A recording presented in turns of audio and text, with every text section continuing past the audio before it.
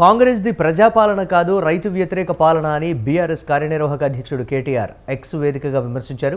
ప్రచారంలో ప్రతి గింజకు బోనస్ అని ఇప్పుడు సన్నవడ్లకు మాత్రమే అంటారా అని ప్రశ్నించారు. ఇది కపట కాంగ్రెస్ మార్కు మోసం దగ నయవంచన అన్నారు. నీరివ్వరు కరెంట్ ఇవ్వరు పంట కూడా సరిగ్గా కొనుగోలు చేయరా అని నిలదీశారు. పదిహేను వేలు రైతు భరోసా వ్యవసాయ కూలీలకు పన్నెండు వేలు ఏమయ్యాయని అన్నారు.